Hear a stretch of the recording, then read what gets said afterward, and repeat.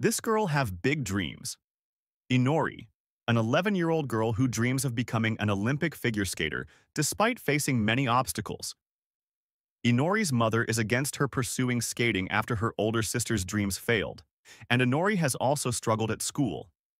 However, Inori finds herself on the ice where she meets Tsukasa, a frustrated coach on the edge of giving up competitive skating himself, will join Inori to form an unstoppable duo powered by hard work, transcendent joy, and an unshakable belief that they can prove everyone wrong. The manga has an inventive art style and a human story that will appeal to everyone, not just sports manga fans. Medalist is a Japanese manga series written and illustrated by Tsurumaikada. An anime television series adaptation produced by ENGI is set to premiere in January 2025. Hope you like it.